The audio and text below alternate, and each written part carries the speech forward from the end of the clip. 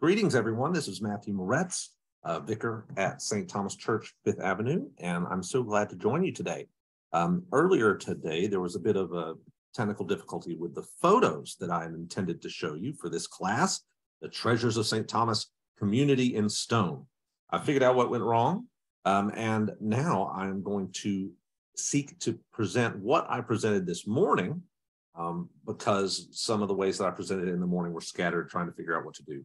I'm going to try to you know, succinctly talk about what I had the chance to talk about this morning with you all. And uh, so for posterity. So let's begin. I want to talk to you about the ornamental facade of St. Thomas Church. And one of the things that I mentioned this morning is um, how delightful it's been to learn about the ornamental facade. Uh, I haven't really looked at it closely in the four years that I've been here.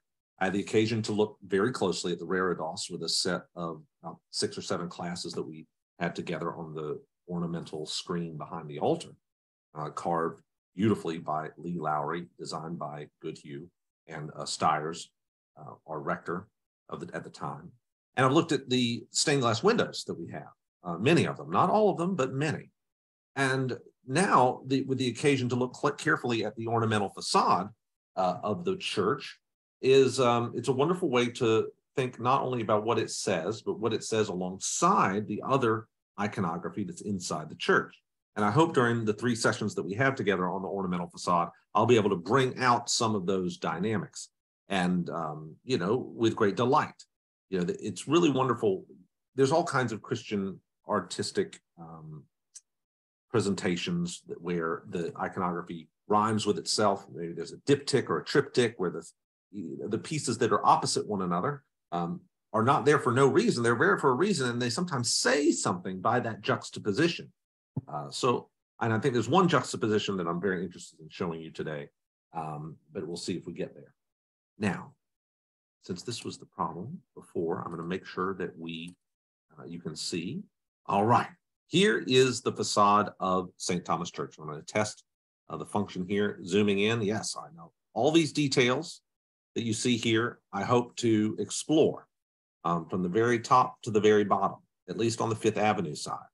And what I'd like to talk about most today is what's found inside the archway. Um, and it's very gloomy here, but it won't be for a variety of other photos. Let's go to the next.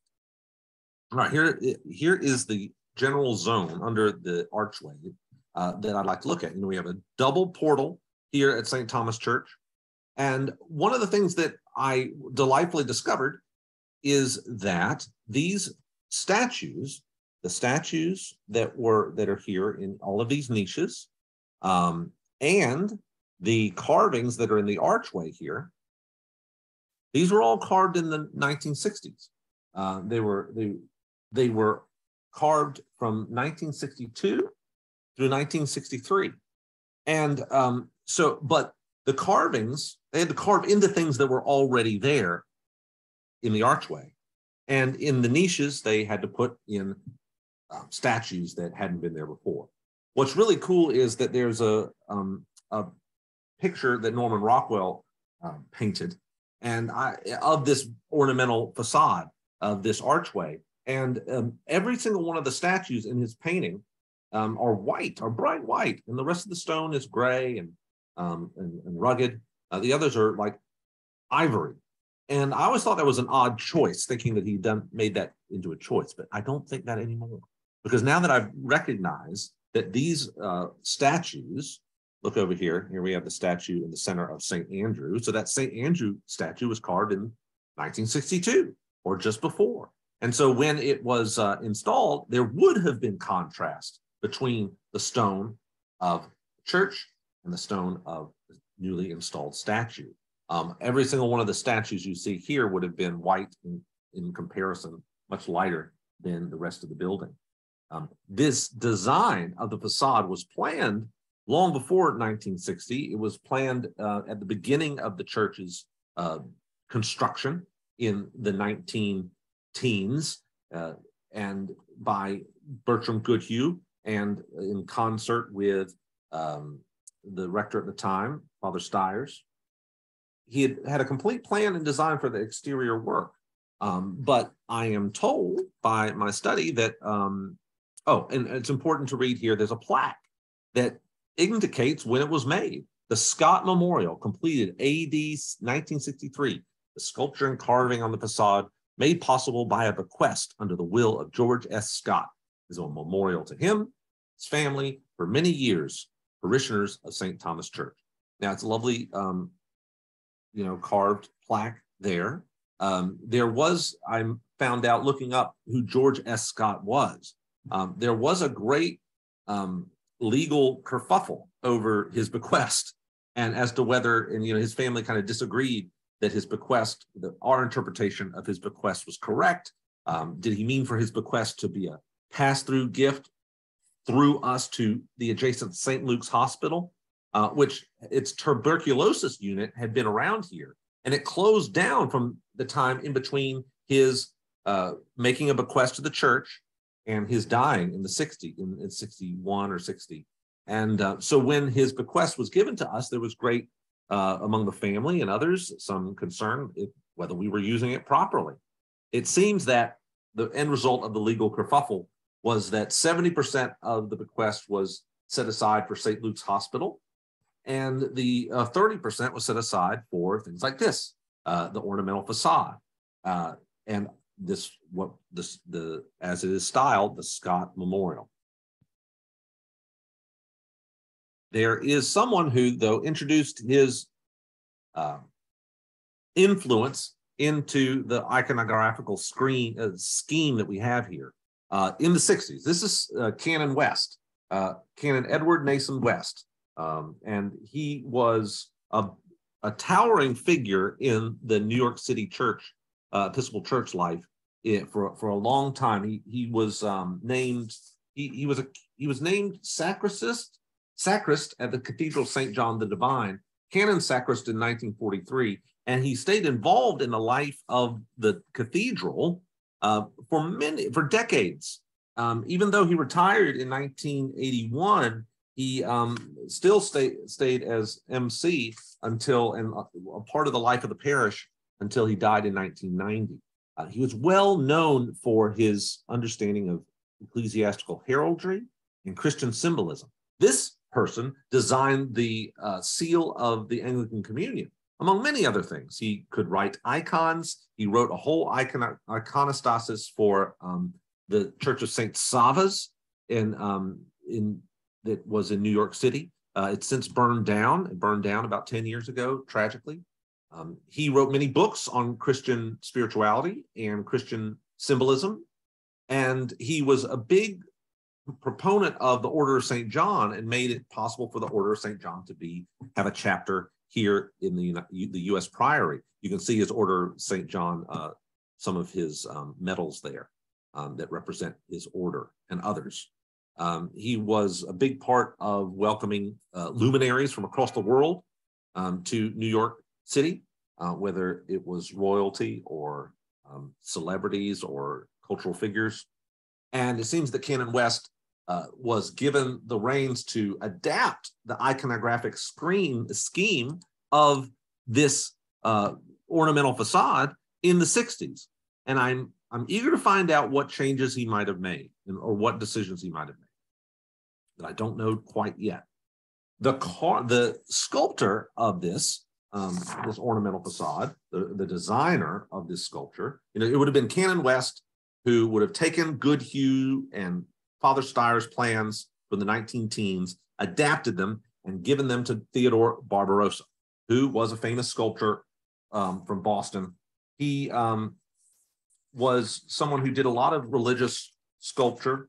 He um, was educated in Boston and he had a lot of public sculptures as well. Um, he had two monumental figures in the 1939 World's Fair. He worked on the Cathedral of the Assumption in Baltimore, St. Mary's Seminary Chapel in Baltimore, St. Thomas, us, uh, the Cathedral St. John the Divine. A lot of the statues there are his, and National Shrine of the Immaculate Conception in Washington, D.C.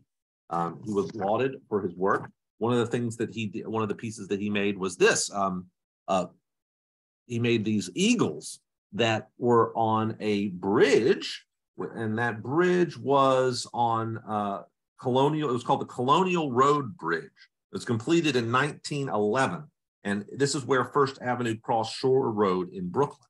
Now, this bridge doesn't exist anymore. Um, but what they did do is they took these eagles and have them on display at the Central Park Zoo, which is delightful. My my children, I've taken pictures with Sam in, in front of this um, eagle, and I had no idea that the same person who carved the statues on the ornamental facade of St. Thomas carved these eight eagles that are throughout the Central Park Zoo. It's really delightful. Um, he uh, lived, let's see, he lived until 1992. I was born in 1906, lived until 1992, and um, we're grateful for what he did. The style, here's an example of one of the details um, in the archway.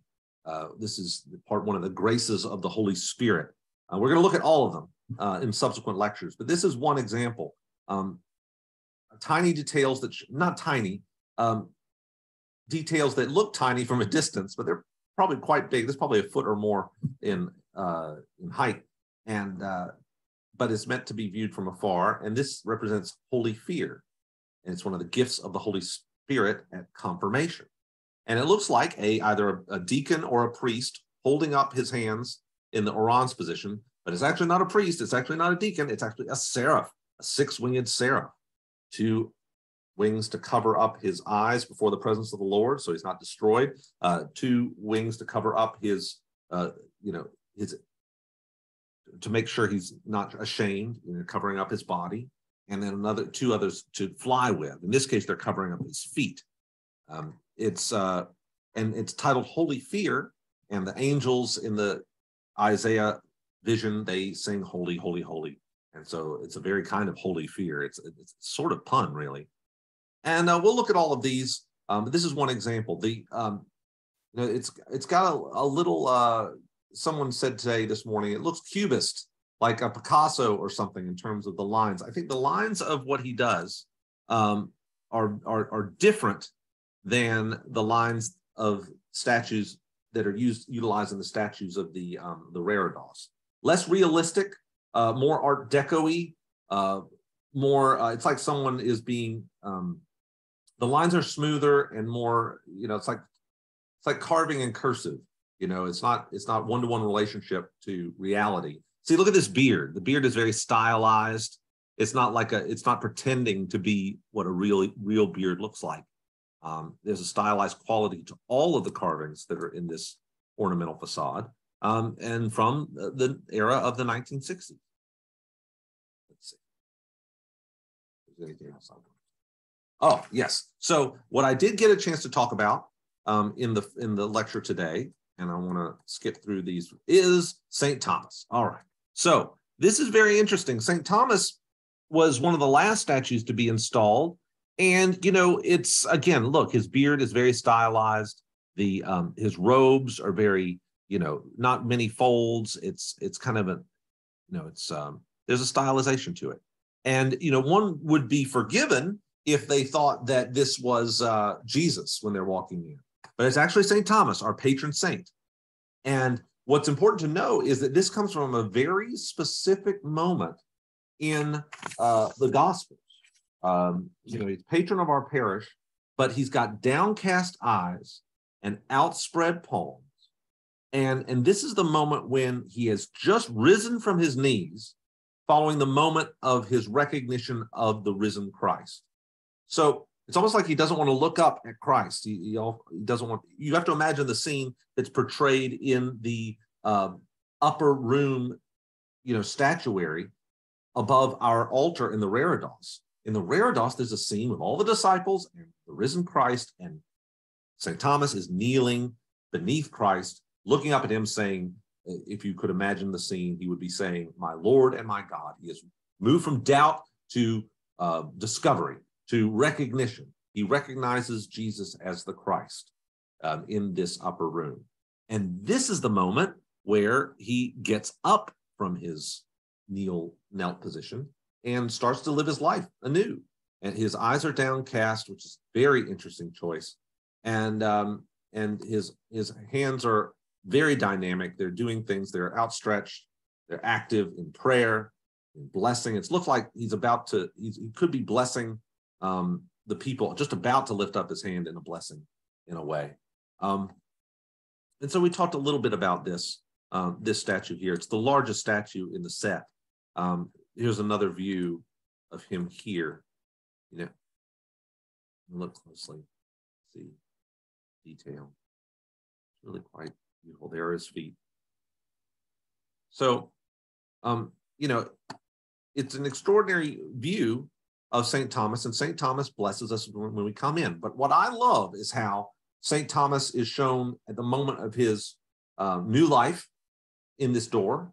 Um, and in the altar, he's shown at the very moment of his recognition as well. There are sequential images of St. Thomas in stone that we have here, and that are very pivotal places. One above the altar, St. Thomas recognizing Christ, and then right at the door, St. Thomas in his new life. It's almost like St. Thomas is leaving the church to go out into the world as an apostle um, based upon what he discovered inside. Um, I think that's what's going on, um, or at least I think it'd be a nice way to think about it. Um, these are all these, um, as you can see, these images that are above us in the uh, archways. Um, thematically they they all orbit around the Holy Spirit. I'm going to go through this carefully next time. Go, and where where did that Holy Fear uh, version go? Let's see. I can't see. I think it's oh, it's over here. There it is. Yeah, there's Holy Fear again. And uh, you know the way I was showing it to you, it was upright, but when you would experience it, it would be you know like this uh, canister of uh, you know all these canisters that are going by. Um, all of these would have been carved, you know, far later than the church was built, and uh, so it probably wouldn't have been white because they were from the same stone that had always been there. Um, we're going to look carefully next week at all of the figures here. Uh, many many of the disciples that aren't featured um, in in the larger images, uh, the ones that don't show up here are going to be up in here. And we'll talk about that later. And Christ, the King, is up here, and we're going to look at him soon. But you can note that, um, look at him next time. You can note that there's a net up. So it's sometimes hard to make out what's going on here, um, or it, creates a kind of haze with the net. Um, but so so be it. We really don't want it to be damaged by uh, pigeons, which is a real possibility. Um, and we have to be very careful with this wonderful heritage that we have. So let's see. That was about as much as I could get through in our class um, this morning because of technical difficulties. But I'm very much looking forward to walking through even more of this ornamental facade so that we'll be able to know about it, appreciate it, and probably draw encouragement and uh, nourishment in our faith. All the very best and see you next week. Bye bye.